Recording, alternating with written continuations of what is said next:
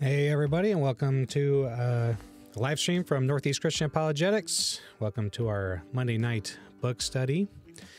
Um, Monday nights at 6 p.m., where we read a book and uh, go through and discuss things that are, are going on in the chapter.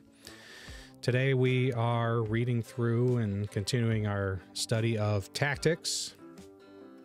Um, tactics. Uh, well, you know, before we jump into that, I just just want to say I hope everyone's having a, a good week, and I hope that everyone's having a good day. And and just to let you guys know, um, I had to keep my daughter home uh, tonight, and uh, she's upstairs, um, and uh, she's just turned five this week. Uh, well, actually, last week. so she just turned five, and uh, but still, uh, boundary recognition isn't a, a something that she's uh, super clear on still, and uh, so she's.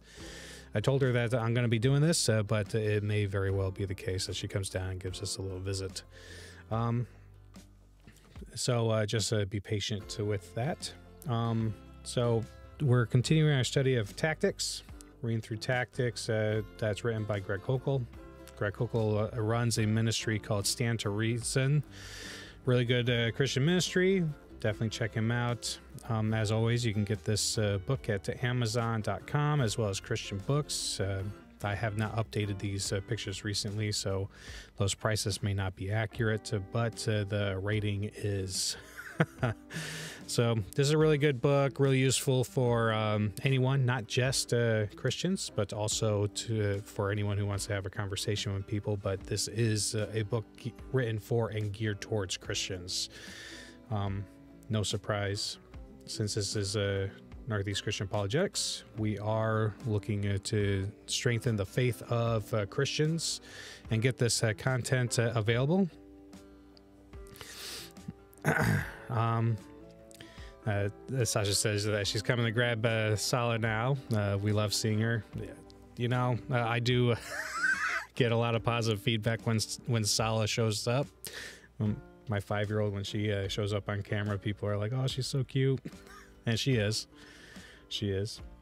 But uh, I am trying to get this uh, this uh, stuff out to as many people as possible, um, and um, and uh, one way that you can help me in this endeavor is uh, by subscribing to the channel. also liking the comment or liking the video and commenting and sharing it on your social media inviting people out to our Monday night uh, book study. Um, really helps, you know. Um, so uh, I hope that you guys have been uh, um, studying uh, the Bible and studying apologetics and uh, prayerfully considering uh, um, things that trouble you in your life. Um, lately, we've been having conversations at Castle Church related to um, and if you follow us on Facebook, then you see this. Uh, but uh, you'll see um, at Castle Church, we've been talking about uh, like how claims saying that Christianity is anti-science or anti-intellectual, and we've been um, breaking down those uh, barriers, addressing those comments and concerns. Um, and uh, and I hope that you've been uh, analyzing the your own barriers to belief. Like what is preventing you from having a deeper relationship with god? What's uh, preventing you from having a deeper understanding of christianity? What's uh, something that troubles you and uh, causes you to doubt? And uh, really analyze those and then seek out answers to those questions. What they seek out uh, books that are written by christians that address those topics of concern that you have really uh, uh, don't be afraid to really investigate matters that uh, cause you you to doubt Christianity. All right. So, um, but anyway, um, let's go ahead and uh, uh and just as a reminder, uh, as always in, a lot of my videos, I say that this uh, uh these Monday night book studies are kind of like a, a React channel kind of deal. Instead of reacting to books, or correction, instead of reacting to uh, videos and music, we're reacting to books. Um, so I will be reading the books and providing you my insights along the way. Uh, do not hesitate to provide your own feedback and to uh, uh, let me know what you think and ask questions, and we can address them as we go along. All right, so let's go ahead and over to the reading. All right, so chapter 16, Just the Facts, ma'am. Um, all right, so uh, Koukl says uh, there is an old TV uh, police drama called Dog. Or, there's an old uh, police uh, drama called Dragnet that you may have heard of, but probably have never seen unless you watch reruns, really old reruns. Uh, two lines from Dragnet are still remembered to this day. The first is the names have been changed to protect the innocent. The second is just the facts, ma'am. Detective Joe Friday's trademark request of whomever he questions as a witness. Just the facts, ma'am, is an easy tactic to use. It requires no cleverness or deft maneuvering. Only two things are necessary the first is an awareness that many challenges to Christianity are based on bad information. These objections uh, can be overcome by a simple repeat appeal to the facts. Syndicated talk show host uh, Dennis Prager tells his callers first tell the truth, then give your opinion. His point an opinion is only as good as the information it's based on. Bad information results in bad opinions. The second requirement is that you need to know the facts. If you do, you can beat the objection. It is not an absolute requirement for this tactic because sometimes you can spot a wrong answer even though you don't know the right one. But knowing the right answer is central to using just the facts, ma'am. And often the information is just a few keystrokes away. So, religion kills. Uh, let me uh, give you an example of a popular challenge to Christianity that is not based on fact, though many think it is. The protest goes something like this uh, Religion is the greatest source of evil in the world. More wars have been fought and more blood has been shed in the name of God than eh, for any other cause. This myth is likely the most widely believed urban legend about religion. Atheist Christopher Hitchens' popular attack on theism is titled uh, God is Not Great How Religion Poisons Everything. Uh, fellow atheist uh, Sam Harris trades on the same fiction in the end uh, faith, religion, terror, and the future of reason. Uh, religious faith, he writes, is the, the most prolific source of violence in our history. And um, in the past, I've actually had uh, debates with uh, people regarding whether or not uh, religion poisons everything. Um, my problem with uh, that statement, it should be pretty clear, uh, that it's way too broad. It's way too broad of a statement. You know, like uh, you, you, can't just say religion poisons everything because um, not all religions poison things. So, but you can say that there are certain religions out there that do poison things. And so you have to analyze each individual religion based off of its merits, based off of its cardinal teachings, based off of what it uh, provides to humanity. You know, it's it's not enough to just say religion poisons everything. You have to analyze each religion itself. Um, also, the statement itself, like religion poisons everything, is actually a poisonous statement. It's a poisonous belief because uh, most people on earth are religious people, um, varying in degrees, uh, obviously, but uh, most people have some sort of religious belief.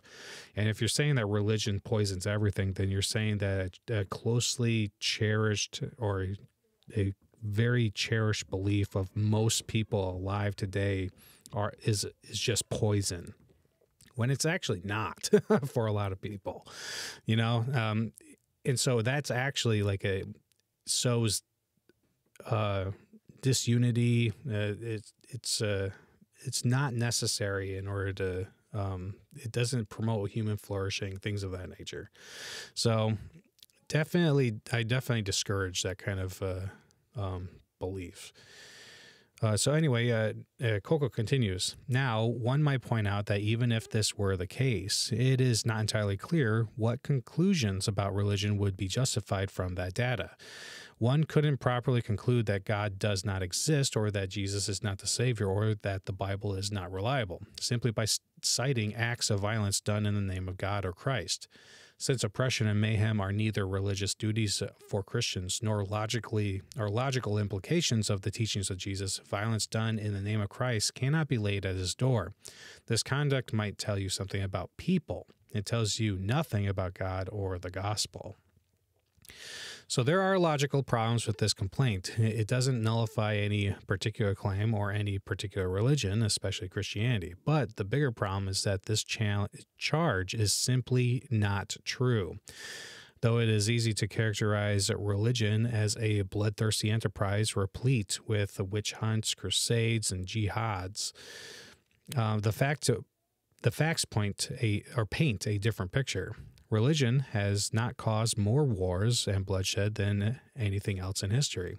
In their massive three volume Encyclopedia of Wars, researchers Charles Phillips and uh, Alan Ac- uh, Axelrod show that uh, of the 1,763 wars they chronicle over the last five millennia, only 123 less than 7% were motivated by religion. And religion played no part in the two greatest military conflagrations in history World War I, with 16.5 million dead, and World War II, with 60 to 80 million perishing. You know, uh, there was more bloodshed in the 20th century than all the other centuries combined. Koukl continues uh, The historical facts uh, show that significantly greater evil has resulted from denial of God than from pursuit of God. In the 20th century alone, Dennis Prager notes more innocent uh, people have been murdered, tortured, and enslaved by secular ideologies, Nazism and communism, than by all religions in history. Uh, grab an older copy of the Guinness uh, Book of World Records and turn to the category judicial uh, subheading crimes, mass killings, you'll find that carnage of unimaginable proportions resulted not from religion but from institutionalized atheism. More than 66 million Soviets wiped out under the communist leadership of Lenin, Stalin, and Khrushchev. Uh, uh, between uh, 32 million and 61 million Chinese killed under communist regimes since 1949, one third of the 8 million Khmers, and uh, two uh, 2.7 million people killed between 1975 and 1979 under the communists, uh, the rogue. All right, so the the greatest evil has not to come from people zealous for God. It has come from people who are convinced there is no God they must answer to. The correlation uh, between a high body count and atheistic uh, total, uh, totalitarianism is not an accident. I presume Mr. Harris locks his door at doors at night, but it's not because he's concerned about deeply religious people in his neighborhood. People who care about care what God thinks characteristic, characteristically control their behavior because they are convinced God is watching. Atheists have no such concern. So atheists uh, with a significant power have no such constraint. I certainly am not suggesting that all atheists promote the kind of genocide I've described. Most oppose it. I am saying, though, that there is a natural kinship to between particular worldviews and behaviors that logically follow from them. No atheism, uh, no atheism doesn't dictate genocide. The worldview allows it, though. No moral principle inherent to atheism prohibits it, simply because there is no moral principles inherent to, to atheism to begin with. All right, yeah. So this is a something to note here. Um, it, it should also be noted that like atheism is not like a worldview.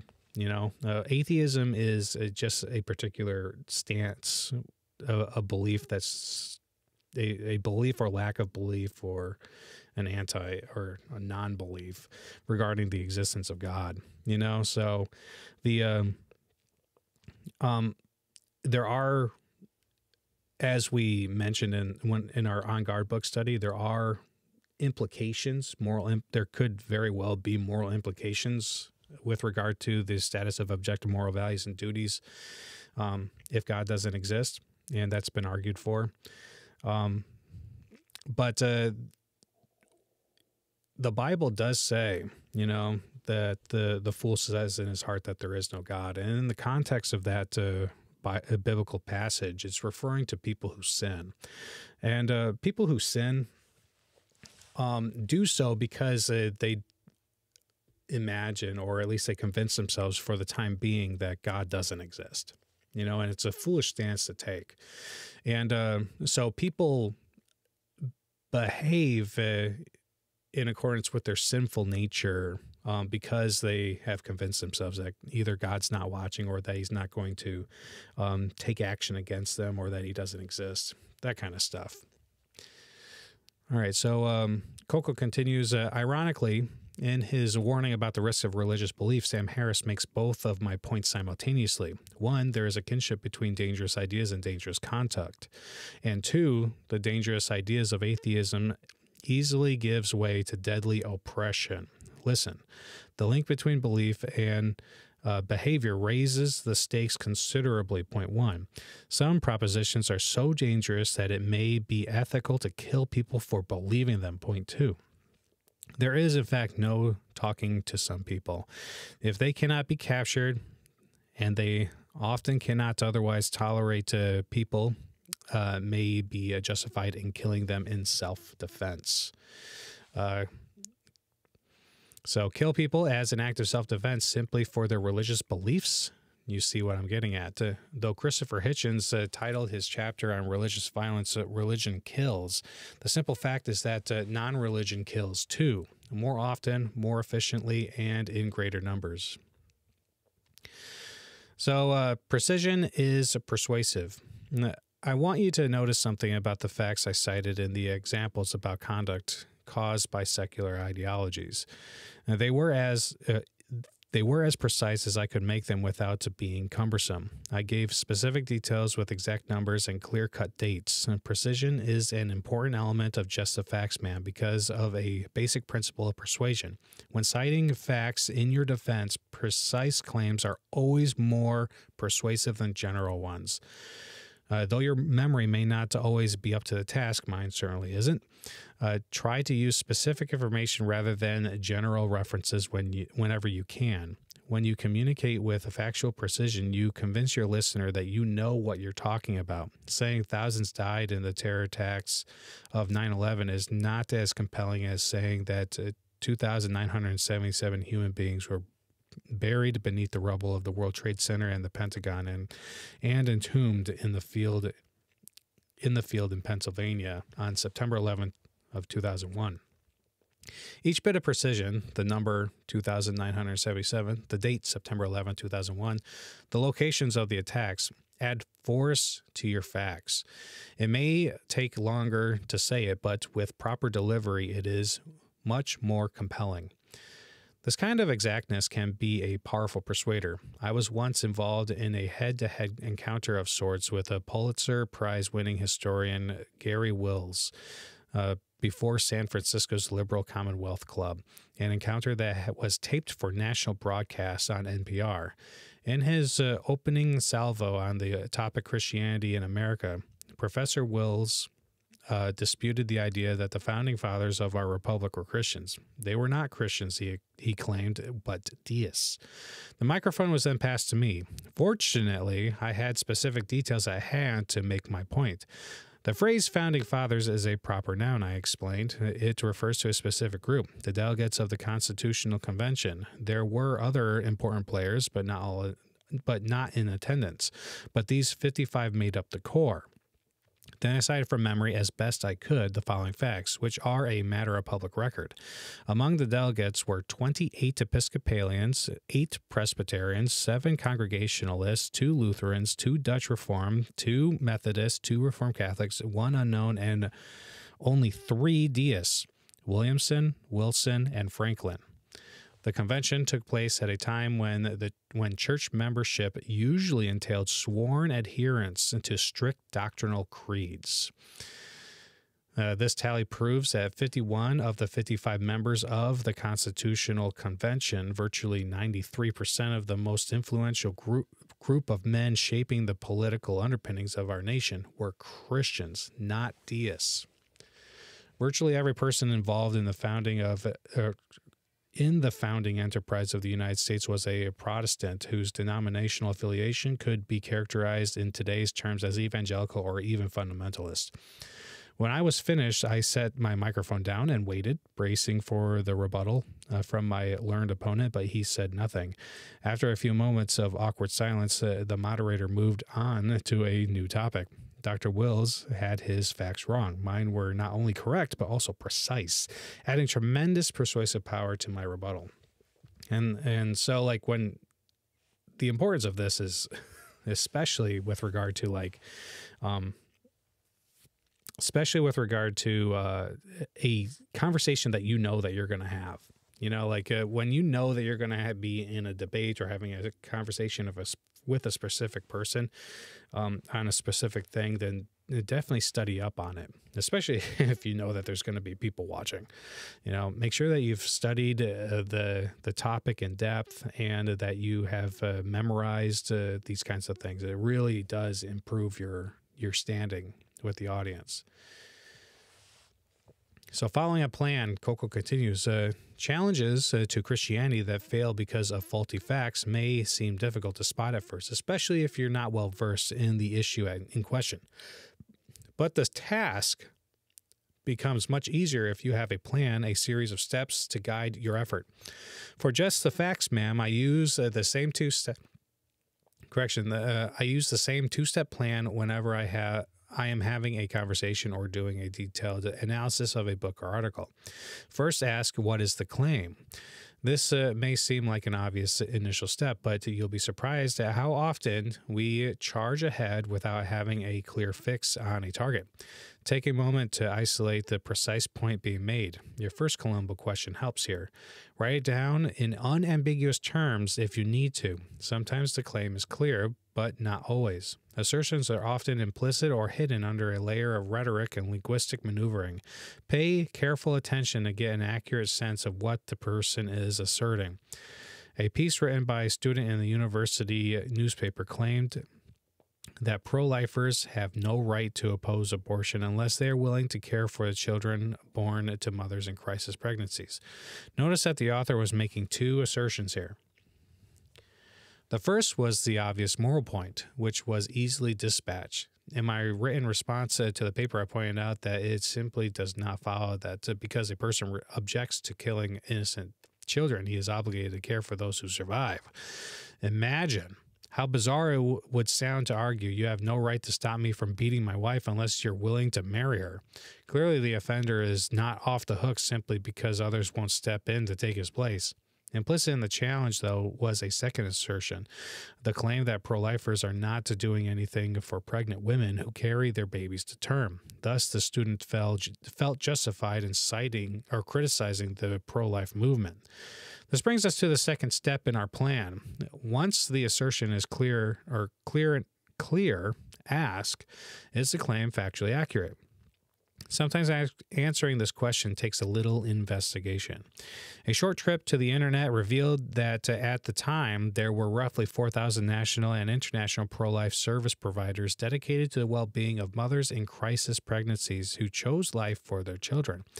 They provide medical aid, housing, baby clothing, cribs, food, help with adoption, even post abortion counseling services, all at no cost Amazingly, there were more crisis pregnancy centers in the co- in the country than abortion clinics. A quick check to the of the local phone directory showed that there were 10 such centers right in the same city as the university. In my response, I pointed out to each of these details to show that besides being flawed in its reasoning, the student's objections had no factual basis. So, uh, that that's uh, pretty uh, pretty shocking to be honest with you. It's like wow um, you really need to make sure that your ducks are in a row when you're having these kinds of conversations especially when you're submitting an article all right, so Koukl continues uh, cracking the code. Um, I followed my two step plan when evaluating the historical claims of the blockbuster novel, The Da Vinci Code, whose uh, broadside on Christianity and the Bible created a public sensation and tremendous turmoil for Christians a number of years ago. and it still does today. I still have conversations where people's main understanding of how the Bible was formed is through the the the process or the the historical fiction presented in the Da Vinci Code. It is. it's annoying having to rebut this so often. Anyway, Koukl continues. Uh, first, uh, I isolated the claims. Uh, the author, Dan Brown, made it uh, simple in most cases by stating his uh, contentions clearly. Here are some of them. In the first three centuries, the warring between Christians and pagans threatened to rend Rome in two. The uh, doctrine that uh, Jesus is the Son of God was fabricated for political reasons at the Council of Nicaea in AD 325 and affirmed for a close vote or correction, affirmed by a closed vote. Close vote. Um, Constantine arranged for all go- uh, gospels depicting Jesus as a mere mortal to be gathered up and destroyed. The uh, Dead Sea Scrolls found in a cave near Qumran in the 1950s confirmed the fabrication. Thousands of uh, Christ's followers wrote accounts of uh, Jesus' life. And these uh, evolved through countless translations, editions, and revisions. History has never had a definitive version. Because I now had specific items to assess, my job was much easier. The first challenge was simple even a cursory analysis of this period of history reveals that there were no wars between pagans and Christians, and for a very good reason. Jesus' followers had neither armies nor the will to resist. Instead, they considered it a privilege to be martyred for Christ. They wouldn't even fight tormentors like uh, Diocletian who executed, uh, or Diocletian, who uh, executed uh, Christians by the thousands just 20 years before Constantine.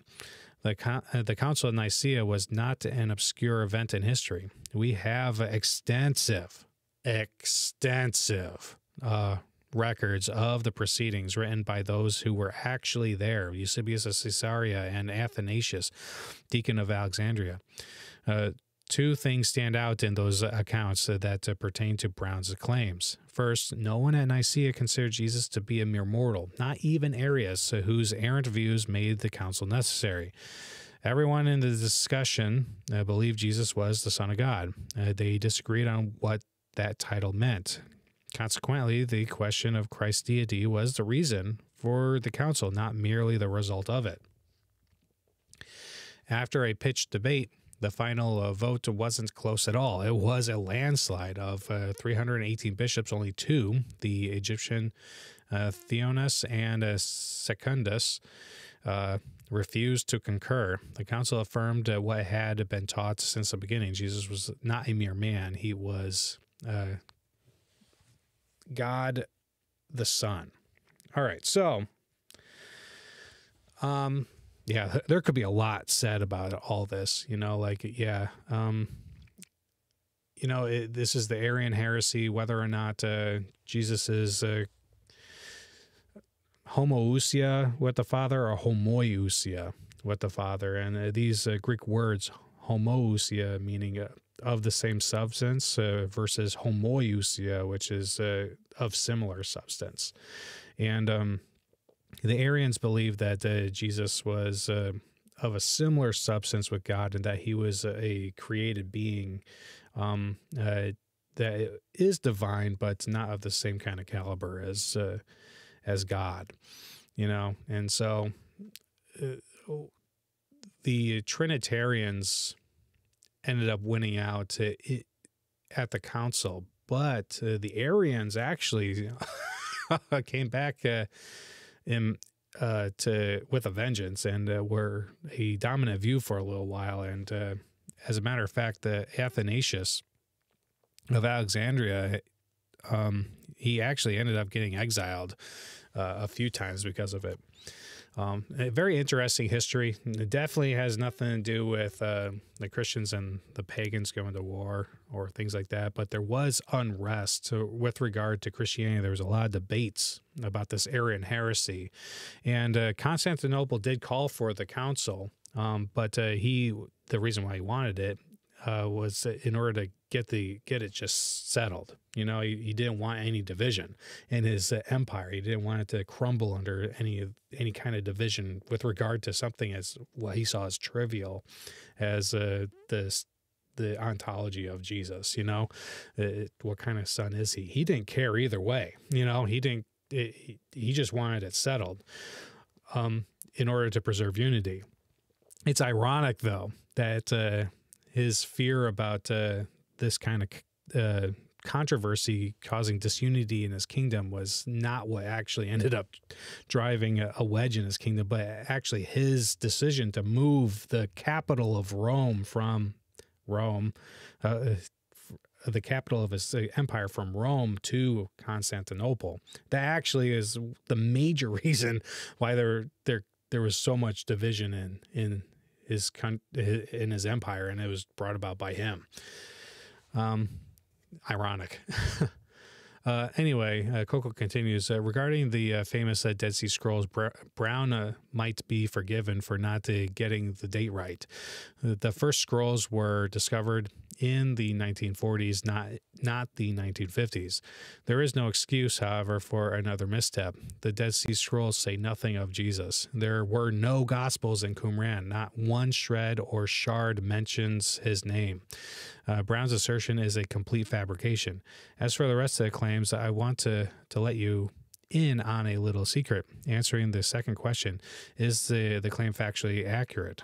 It does not always require investigation. I mentioned earlier that sometimes it is possible to spot a wrong answer even it, even when you do not know the right one. Here's how. Uh, before beginning any research, uh, first ask Does anything about the assertion seem suspicious or unlikely on its face?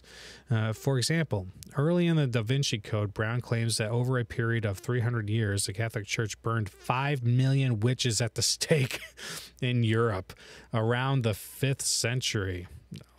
Uh, I was immediately suspicious of this fact, so I uh, took out my uh, calculator and did the math. Rome would have would have uh, would have to burn 45 women a day every single day nonstop for 300 years.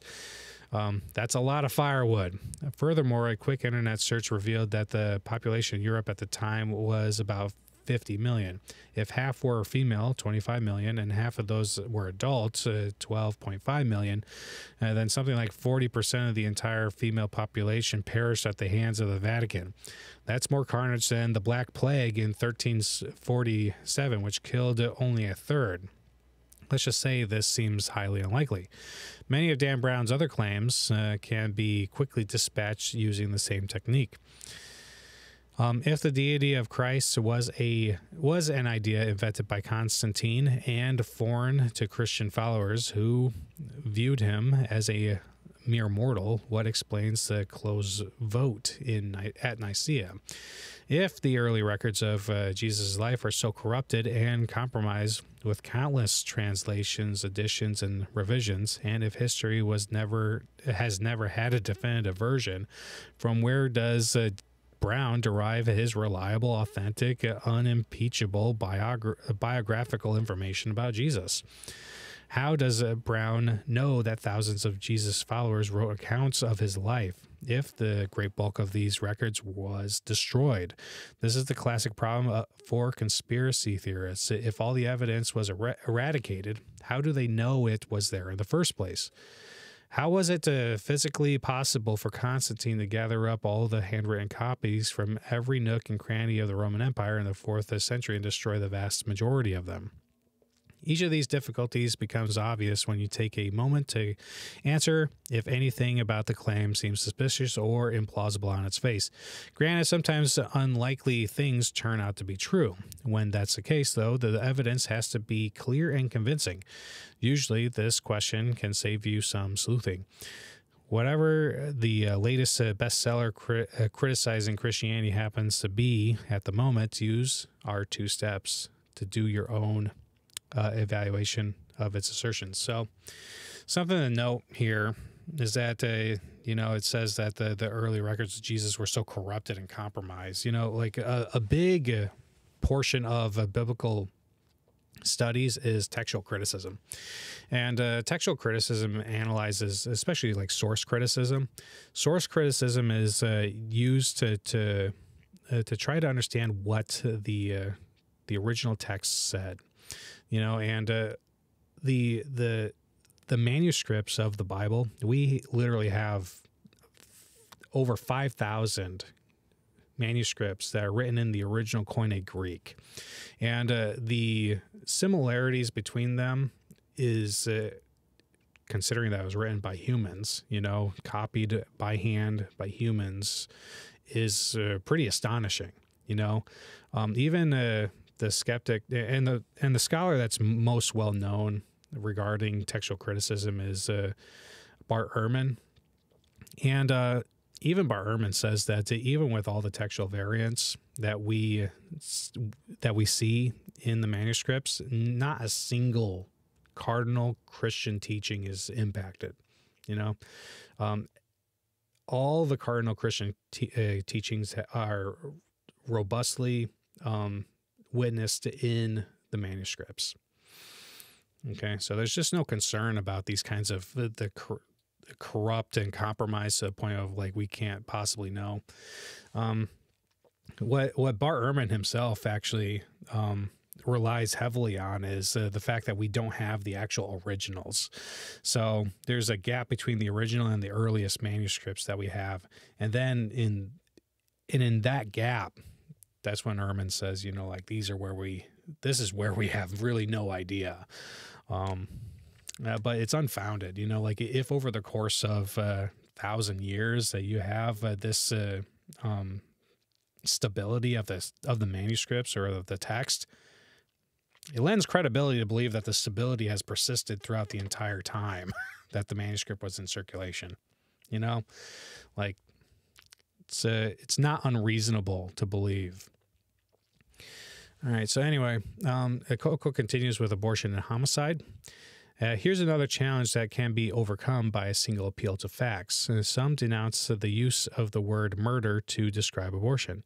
Yet this language is consistent with the laws in nearly two thirds of the states in the Union, at least uh, in one third, or correction, at least in one regard. In the in the California statutes under the, the category crimes against the person, uh, statute 187, uh, murder is defined this way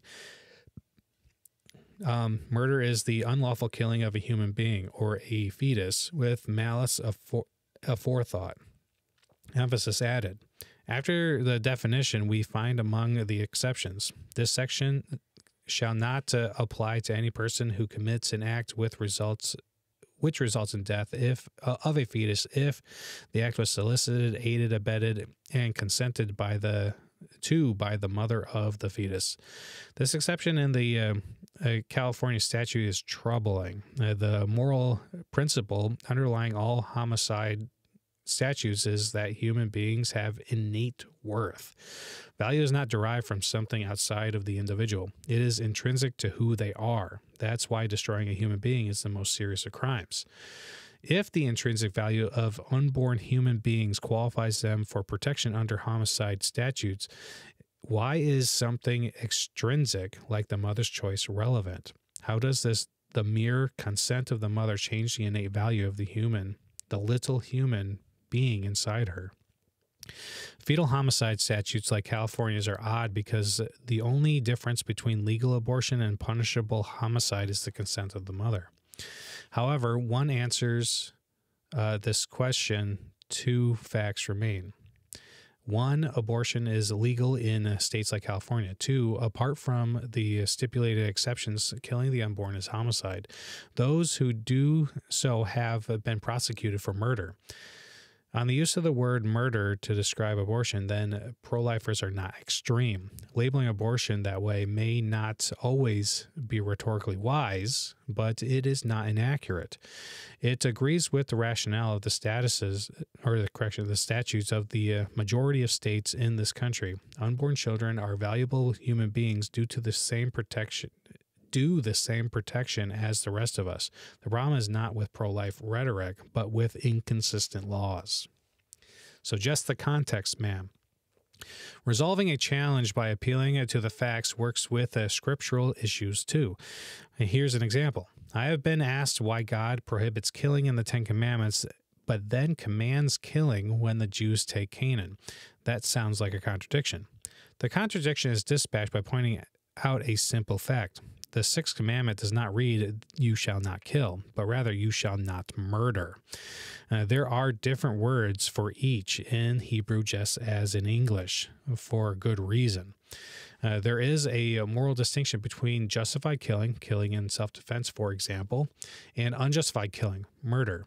God prohibits the second, not the first. The scriptural facts show that there is no contradiction. In my debate with New Age author Deepak Chopra, he made an unusual statement about the text of the New Testament. He claimed that the uh, King James Version was the, the 18th century or 19th, or correction, the 18th or 19th iteration of the Bible since the year 313. This uh, comment reflected, I think, the idea that people that the idea many people have that the New Testament has gone through series of translations and re- retranslations iterations before finally settling into the English versions we have today.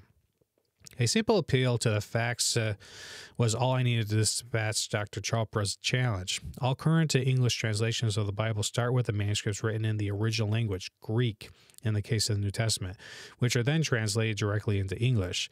Instead of uh, multiple iterations, there is only one step in language from the original Greek to our English versions. And th- and this is how it is with all of our english yeah all of our english versions you know whether it be the niv the esv the net you know the king james version the new king james version. The only difference is is kind of like the um um the the translation methodology being used. Some of them are more literal like the king james version is, li- is more literal or the rsv is more literal or the some of the some of the translations are take liberties, you know, like the New Living Translation. Um, so, and also when when translating uh, the Bible, it, it, depends on the manuscripts being used. Like with the King James version and the New King James version, they use the Textus Receptus, um, which is widely considered nowadays to not be the best manuscripts. Um, so most people nowadays like the ESV, the NIV, the um, the NET kind of use a uh, a reasoned eclecticism um, where they uh, reason which manus- which uh, manuscripts provide the most reasonable original reading, and then they translate that reading into the English. Um, some translations uh, just go with the majority text. Like if the majority of the text say this particular phrase, then that's what's used. Uh, but there's a lot that goes into all this. There's a lot that goes into all this, and um, it's a, a it's a very I think it's a very interesting field of study.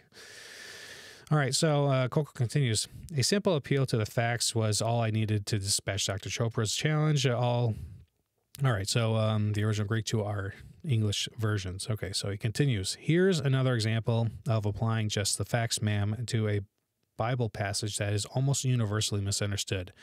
Do not judge so that you will not be judged. Matthew 7 1.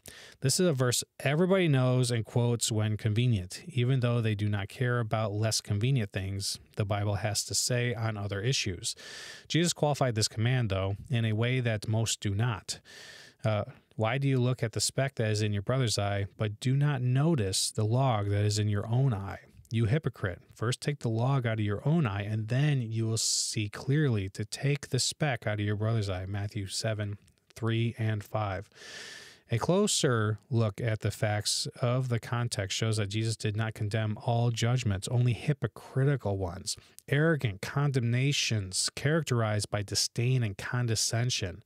Not all judgments are of this sort, though, so not all judgments are condemned. In this passage, Jesus encourages a different sort of judgment once the hypocrisy has been dealt with.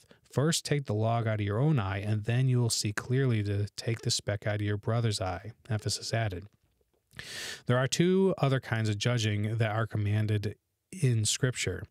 Judgments that are judicial in nature are proper when done by the proper authorities. Judges judge, they pass sentence, that's their job. Uh, church discipline is of this sort. Paul specifically commands us to judge believers. God will judge the world in his time. 1 Corinthians 5 12 through 13. Uh, Jesus himself did not come initially for this kind of judgment. He offers mercy, not justice. But he will certainly return with this kind of judgment since he was appointed by the Father for that task. Judgments that, uh, that are assessments appraisals of right or wrong, wise or foolish, accurate or inaccurate, rational or irrational, are also commanded. Uh, Jesus' instructions in that passage, in that same passage, do not uh, give what is holy to dogs. Matthew 7 6 requires this kind of evaluation. What is holy? Who are the dogs? Peter reminds us to be of sound judgment, since the end of all things is near. 1 Peter 4 7. Some assessments are moral. Paul commands this kind of uh, judgment in some circumstances. Do not uh, participate in unfruitful deeds of uh, darkness, but instead uh, but instead even expose them. Ephesians 5:11. Jesus said to make uh, such assertions not according to appearance but by righteous standards. John 7:24. He chastises Jews for their failures here. Why do you why do you not even uh, why do you not even on your own initiative initiative judge what is right. Luke 12, 57. A judicial action, a, a factual assessment, a hypocritical condemnation are all judgments. Only the third is disqualified by Jesus. The first two are virtues in their proper setting and are therefore commanded by Scripture. There are, uh, those are the scriptural facts. All right, so let's back up here. Um, all right, so what we need to do here is highlight uh, from here and see and just go until the end of this passage. We're going to highlight all of that. All right. Make sure you highlight that in your book. Okay. This is really important. All right. This kind of stuff comes up all the time. And uh, Koukl gives us some really good insight on, uh, on judgment, how it's to be applied, what scripture says regarding judgment, that's this kind of stuff. So make sure that you you uh, study that passage particularly. All right, so what we learned in this chapter. As you can see, many who challenge Christianity base their case on misinformation or error. They simply have their facts wrong. Just the facts, ma'am, is a maneuver you can use to help determine when this is happening. In this chapter, we learned how to apply the two step approach of this tactic. Whenever a challenge is in your view, or correction, whenever a challenge to your view is based on an alleged factual claim, more blood than has been shed, or has been shed in the name of religion than for anything else, or America's founding fathers were deists, first ask what is the precise claim? These two examples are clear, but sometimes assertions are hidden. Separate, uh, separate the precise point or points from the rest of the rhetoric. Ask questions to make sure you know what the person is alleging. This step is the same as the first step of Columbo. Next, ask yourself if the claims are accurate. There are two ways to find mistakes. The internet is the most convenient place to do quick research. Once you have isolated specific claims, verification is often a few keystrokes away. You uh, may also have uh, reference books or informed friends you can turn to for help. You might have some time though by you might save some time though by asking a different question before you start your sleuthing. Does anything about the claim seem unlikely or implausible on its face?